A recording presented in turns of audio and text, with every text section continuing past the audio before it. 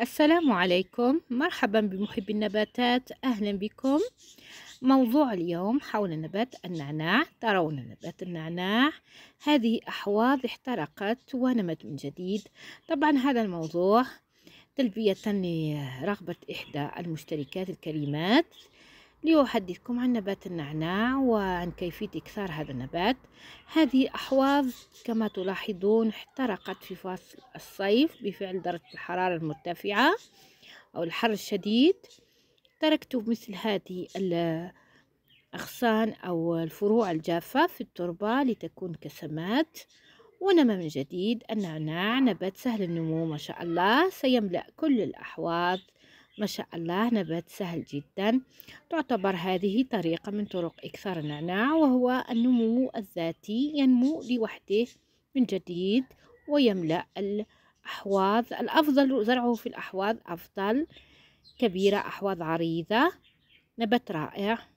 النعناع مفيد في كل بيت. يعتبر من الأعشاب العطرية المنزلية الضرورية لكل بيت طبعا. هذه كلها فروع جافة ونمت من جديد. ما شاء الله هذا هو نبات النعناع. كما قلت هذه إحدى طرق إكثار النعناع هو تركه في الحوض كما هو وينمو من جديد أو حج نبات النعناع أثناء الحصاد وينمو من جديد. يعتبر نمو ذاتي لنبات النعناع. أما الطرق الأخرى فهي طرق سهلة أيضا سنتحدث عنها. منها أن نأخذ أو نشتري حزمة نعناع ونستغلها. نأخذ منها جزء للإكثار. هكذا هكذا تكون حزمة. هكذا نأخذ عقل الأجزاء السفلية لنبات أو للعقل الحزمة بهذا الشكل ونكسر جزء منها في الماء.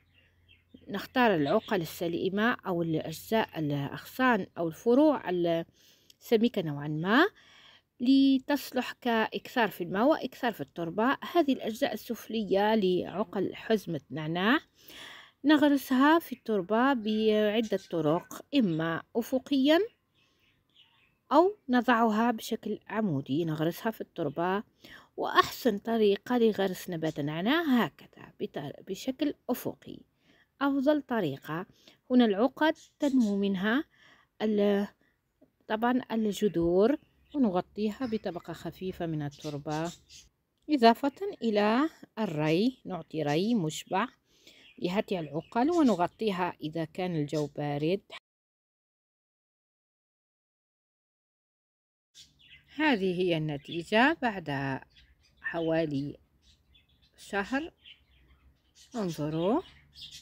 هذه عقل التي أكثرتها في الماء ما شاء الله. انظروا ما شاء الله. كانت ناجحة وما شاء الله سريعة سريعة النمو. ما شاء الله. انظروا هذه الجذور. طبعا نغير لها الماء في كل مرة. ونختار كما قلت العقل السليمة وذات سمك متوسط.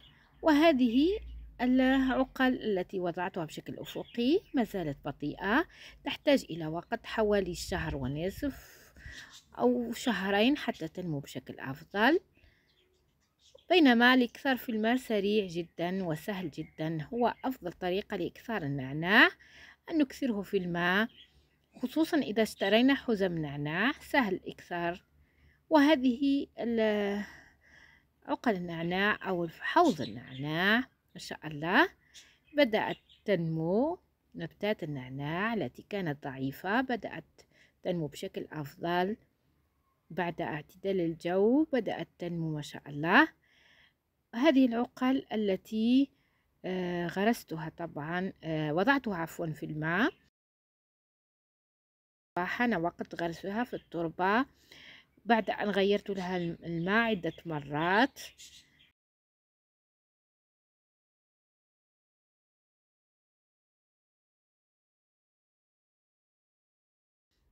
حان وقت غرسها, غرسها في, في التربة نوزعها هكذا نعمل ثقوب في الأواني ونضع أو الأسس ونضع العقل المجذرة طبعا. طريقة سهلة جدا إكثار النعناع كما ذكرت ينمو النعناع بشكل ذاتي في مكانه إذا احترق أو قمنا بحصاده وينمو أيضا إذا أكثرناه في الماء كعقل أو اشترينا حزمة نستغل الجزء السفلي منها ونكثره بشكل عقل أفقية نضعها على سطح التربة أو جذور النعناع كذلك. إذا حصلنا حتى على الجذور يمكن إكثارها وأفضل طريقة لإكثار النعناع هو وضعه في الماء. خصوصا إذا وضعنا آه، باقة نعناع في في الماء في في المطبخ نأخذ الأوراق نستفيد منها والجزء السفلي إذا حصل له تجدير نغرسه بكل بساطة في أواني في التربة طبعا ونحصل على أصص من النبات النعناع الرائع بكل بساطة طريقة سهلة وبسيطة جدا. هكذا يكون كثار النعناع. نضيف التربة طبعا الأسس لهذه العقل الناجحة التي أكثرناها في الماء بكل بساطة نضيف لها التربة هكذا نضع خمس أو ستة عقل. الأفضل أن نضع عقل كثيرة في, في حتى نحصل على الصيص مملوء بالنعناع لأننا نستفيد من هذا النعناع من أوراق النعناع. لذلك الأفضل أن نكثره في في أحواض أفضل أو أسس كبيرة كبيرة الحجم. لنحصل على نبتات كثيرة من نبات النعناع. هكذا يكون الإكثار بكل بساطة. نعطي الري المشبع طبعا في كل عملية غرس لأي نبات. هذه الرية الأولية المشبعة تسمى. هكذا. ونضعه في مكان مناسب بعيدا عن كل تيارات الهواء وعن الأمطار وعن الشمس الحارقة إذا كان الجو مشمس في فصل الصيف طبعا وهذا إكثار طبعا في الخريف أفضل إكثار وفي الربيع كذلك.